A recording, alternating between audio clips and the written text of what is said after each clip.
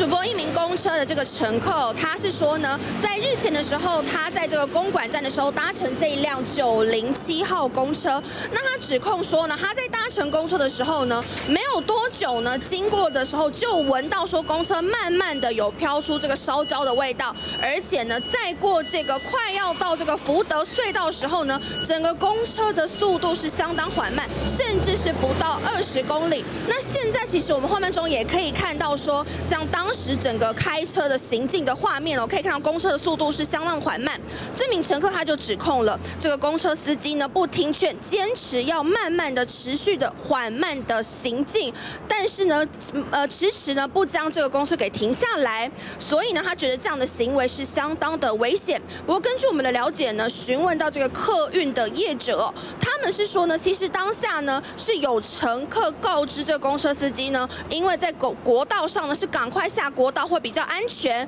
但是呢，一直行驶到这个国道下的时候，刚好就经过这个福德隧道。福德隧道里头呢，又有乘客反映说，是不是要将车子停下来？但是公车司机认为说，停在这个隧道里头是相当的危险，所以呢才会开出这个隧道。那么之后呢，开出福德隧道，他们有呃请这个拖吊车来拖吊，甚至还有找车子呢来这个接应这些车上的一些乘客。但是他们也说，未来会再加强这个教育司机跟民众之间的对答。